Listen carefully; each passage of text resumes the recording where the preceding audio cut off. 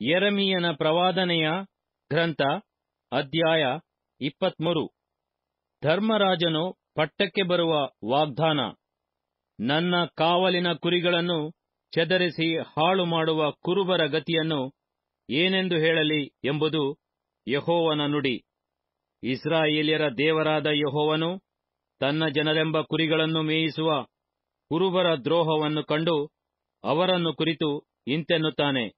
ನೀವು ನನ್ನ ಮಂದೆಯನ್ನು ಚದರಿಸಿ ಅಟ್ಟಿಬಿಟ್ಟಿದ್ದೀರಿ. ವಿಚಾರಿಸಲೇ ಇಲ್ಲ. ಆಹಾ, ನಿಮ್ಮ ದುಷ್ಕೃತ್ಯಗಳ ನಿಮಿತ್ತ ನಾನು ನಿಮ್ಮನ್ನು ವಿಚಾರಿಸುವೆನು. ನಾನು ನನ್ನ ಮಂದೆಯನ್ನು ಯಾವ ದೇಶಗಳಿಗೆ ಅಟ್ಟಿಬಿಟ್ಟೆನೋ ಆ ಸಕಲ ದೇಶಗಳಿಂದ ಉಳಿದ ಕುರಿಗಳನ್ನು ಕೂಡಿಸಿ ತಮ್ಮ ತಮ್ಮ ಹಟ್ಟಿಗಳಿಗೆ ತಿರುಗಿ ಬರಮಾಡುವೆನು. ಅವು ದೊಡ್ಡ ಪೀಳಿಗೆಯಾಗಿ ಹೆಚ್ಚುವವು. ನಾನು ಅವುಗಳ ಮೇಲೆ ಕುರುಬರನ್ನು ನೇಮಿಸುವೆನು. ಅವರು ಅವುಗಳನ್ನು ಮೇಯಿಸುವರು. ಅವು ಇನ್ನು ಭಯಪಡವು. ಬೆದರವು ಅವುಗಳಲ್ಲಿ ಒಂದೂ ಕಡಿಮೆಯಾಗದು. ಇದು ಯಹೋವನ ನುಡಿ. ಯಹೋವನು ಹೀಗನ್ನುತ್ತಾನೆ, ಇಗೋ, ನಾನು ಮುಂದಿನ ಕಾಲದಲ್ಲಿ ದಾವಿದನೆಂಬ ಮೂಲದಿಂದ ಸದ್ಧರ್ಮಿಯಾದ ಮೊಳಿಕೆಯನ್ನು ಚಿಗುರಿಸುವೆನು. ಅವನು ರಾಜನಾಗಿ ಆಳುತ್ತಾ, ವಿವೇಕದಿಂದ ಕಾರ್ಯವನ್ನು ಸಾಧಿಸುತ್ತಾ ದೇಶದಲ್ಲಿ ನೀತಿ ನ್ಯಾಯಗಳನ್ನು ನಿರ್ವಹಿಸುವನು. ಅವನ ಕಾಲದಲ್ಲಿ ಯಹೂದ್ಯರು ಸುರಕ್ಷಿತರಾಗಿರುವರು. ಇಸ್ರಾಯೇಲ್ಯರು ನೆಮ್ಮದಿಯಾಗಿ ವಾಸಿಸುವರು. ಯಹೋವ ಚಿತ್ಕೇನು ಅಂದರೆ ಯಹೋವನೇ ನಮ್ಮ ಸದ್ಧರ್ಮ ಎಂಬ ಹೆಸರು ಅವನಿಗಾಗುವುದು. ಆಹಾ, ಮುಂದಿನ ಕಾಲದಲ್ಲಿ ಜನರು ಇಸ್ರಾಯೇಲಿಯರನ್ನು ಐಗುಪ್ತ ದೇಶದೊಳಗಿಂದ ಉದ್ಧರಿಸಿ ಯಹೋವನ ಜೀವದಾಣೆ ಎಂಬುದಾಗಿ ಪ್ರಮಾಣ ಮಾಡುವುದನ್ನು ಬಿಟ್ಟು ಇಸ್ರಾಯೇಲ್ ಮನೆತನವೆಂಬ ಸಂತಾನವನ್ನು ಬಡಗನ ದೇಶದಿಂದಲೂ ತಾನು ಅವರನ್ನು ತಳ್ಳಿಬಿಟ್ಟಿದ್ದ ಸಕಲ ಸೀಮೆಗಳಿಂದಲೂ ಬರಮಾಡಿ ಉದ್ಧರಿಸಿ ಯಹೋವನ ಜೀವದಾಣೆ ಎಂದು ಪ್ರಮಾಣ ಮಾಡುವರು.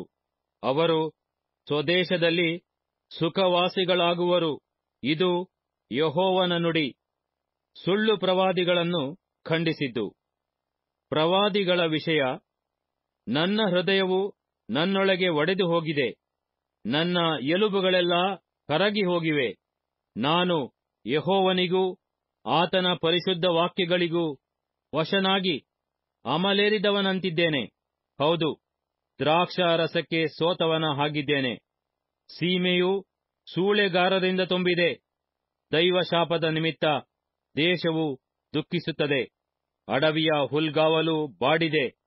ದೇಶದವರು ತ್ವರೆಪಡುವ ಮಾರ್ಗವು ದುರ್ಮಾರ್ಗ. ಅವರ ಶೌರ್ಯವು ಅನ್ಯಾಯ ಸಾಧಕ. ಪ್ರವಾದಿಗಳು ಭ್ರಷ್ಟರು. ಯಾಜಕರು ಭ್ರಷ್ಟರು.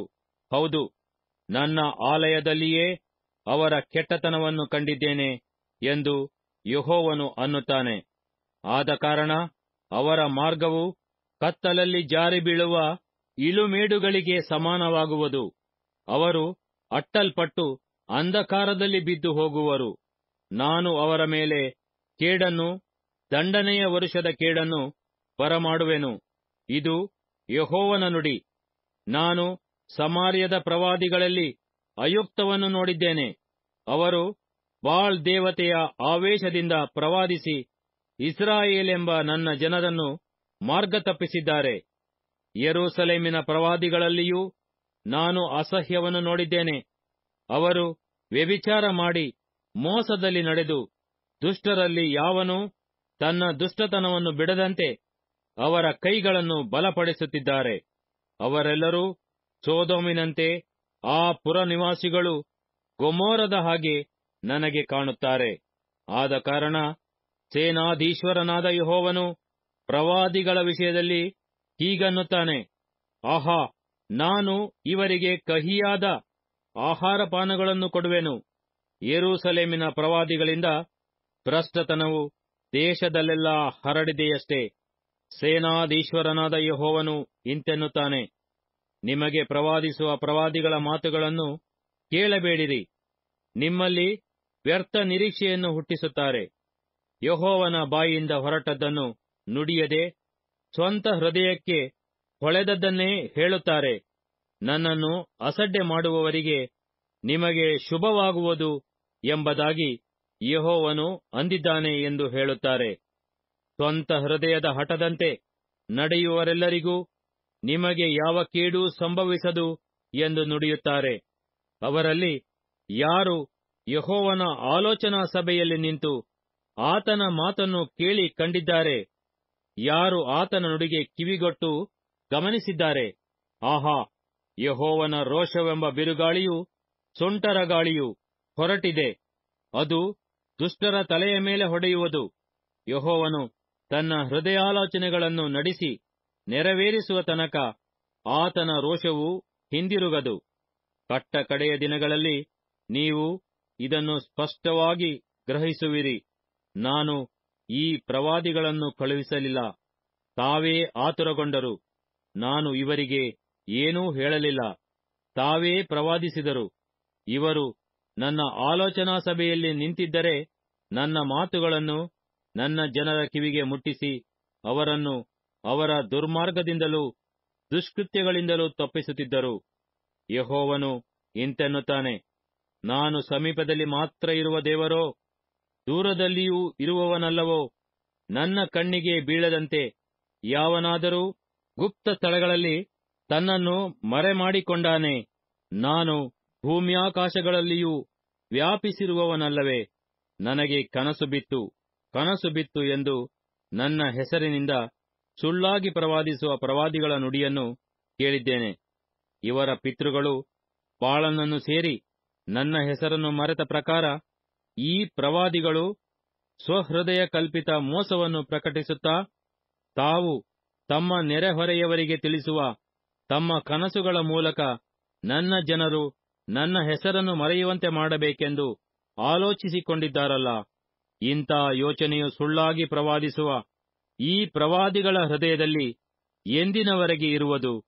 ಕನಸು ಕಂಡ ಪ್ರವಾದಿಯು ಕನಸನ್ನು ತಿಳಿಸಿದರೆ ತಿಳಿಸಲಿ. ನನ್ನ ಮಾತನ್ನು ಕೇಳಿದವನೋ ನನ್ನ ಮಾತನ್ನು ಯಥಾರ್ಥವಾಗಿ ನುಡಿಯಲಿ. ಹೊಟ್ಟೆಲ್ಲಿ ಕಾಳೆಲ್ಲಿ ನನ್ನ ವಾಕ್ಯವು ಬೆಂಕಿಗೂ ಬಂಡೆಯನ್ನು ಒಡೆದು ಬಿಡುವ ಚಮಟಿಕೆಗೂ ಸಮಾನವಾಗಿದೆಯಲ್ಲ? ಯಹೋವನೇ ಇದನ್ನು ನುಡಿದಿದ್ದಾನೆ. ಆಹಾ, ನನ್ನ ಮಾತುಗಳನ್ನು ತಮ್ಮ ತಮ್ಮ ನೆರೆಯವರಿಂದ ಕದ್ದುಕೊಳ್ಳುವ ಪ್ರವಾದಿಗಳಿಗೆ ನಾನು ವಿರುದ್ಧನಾಗಿದ್ದೇನೆ. ಇದು ಯಹೋವನ ನುಡಿ. ಆಹಾ, ತಮ್ಮ ನಾಲಿಗೆಗಳನ್ನು ಚಾಚಿ ಯಹೋವನು ನುಡಿಯುತ್ತಾನೆ ಎಂದು ಹೇಳುವ ಪ್ರವಾದಿಗಳಿಗೆ ನಾನು ಪ್ರತಿಭಟಿಸುವವನಾಗಿದ್ದೇನೆ. ಇದು ಯಹೋವನ ನುಡಿ. ಆಹಾ, ಸುಳ್ಳು ಕನಸುಗಳನ್ನು ಪ್ರಕಟಿಸಿ, ವಿವರಿಸಿ, ತಮ್ಮ ಸುಳ್ಳು ಮಾತುಗಳಿಂದಲೂ, ಕೊಚ್ಚಾಟದಿಂದಲೂ ನನ್ನ ಜನರಿಗೆ ದಾರಿ ತಪ್ಪಿಸುವ ಪ್ರವಾದಿಗಳನ್ನು ಎದುರಿಸುವವನಾಗಿದ್ದೇನೆ. ನಾನು ಅವರನ್ನು ಕಳುಹಿಸಲಿಲ್ಲ, ಆಜ್ಞಾಪಿಸಲಿಲ್ಲ. ಅವರಿಂದ ಈ ಜನರಿಗೆ ಯಾವ ಪ್ರಯೋಜನವೂ ಆಗುವುದಿಲ್ಲ. ಇದು ಯಹೋವನ ನುಡಿ. ಪ್ರವಾದಿಯಾಗಲಿ ಯಾಜಕನಾಗಲಿ, ಈ ಜನರಲ್ಲಿ ಯಾರಾಗಲಿ ಯಹೋವನು ದಯಪಾಲಿಸಿರುವ ವಾಕ್ಯ ಭಾರವೇನು ಎಂದು ನಿನ್ನನ್ನು ಕೇಳಿದರೆ ನೀನು ಅವರಿಗೆ ಹೀಗೆ ಹೇಳು, ಯಹೋವನು ಇಂತೆನ್ನುತ್ತಾನೆ, ನೀವೇ ನನ್ನ ಭಾರ, ನಾನು ನಿಮ್ಮನ್ನು ಎಸೆದು ಬಿಡುವೆನು. ಪ್ರವಾದಿ, ಯಾಜಕ, ಸಾಧಾರಣ ಜನ, ಇವರಲ್ಲಿ ಯಾವನು ಯಹೋವನ ಭಾರ ಎಂದು ಉಚ್ಚರಿಸುವನೋ ಅವನನ್ನು ಅವನ ಮನೆಯವರನ್ನು ದಂಡಿಸುವೆನು. ನೀವು ನಿಮ್ಮ ನಿಮ್ಮ ನೆರೆಹೊರೆಯವರನ್ನು ಅಣ್ಣ ತಮ್ಮಂದಿರನ್ನು, ಯಹೋವನ ಉತ್ತರವೇನು, ಯಹೋವನು ಏನು ನುಡಿದಿದ್ದಾನೆ ಎಂದು ಕೇಳಬೇಕೇ ಹೊರತು ಯಹೋವನ ಭಾರ ಎಂಬ ಮಾತನ್ನು ಇನ್ನು ಎತ್ತಲೇ ಕೂಡದು. ಪ್ರತಿಯೊಬ್ಬನ ನುಡಿಯೇ ಅವನವನಿಗೆ ಭಾರವಾಗಿರುವುದು. ಜೀವ ಸ್ವರೂಪನಾದ ದೇವರ ನುಡಿಗಳನ್ನು, ಹೌದು, ನಮ್ಮ ದೇವರು ಸೇನಾಧೀಶ್ವರನೂ ಆದ ಯಹೋವನ ನುಡಿಗಳನ್ನು ತಲೆ ಕೆಳಗು ಮಾಡಿದ್ದೀಯಷ್ಟೇ. ಯಹೋವನಿಂದ ನಿನಗೆ ಯಾವ ಉತ್ತರವಾಯಿತು? ಯಹೋವನು ಏನು ನುಡಿದಿದ್ದಾನೆ ಎಂದು ಪ್ರವಾದಿಯನ್ನು ಕೇಳಿರಿ.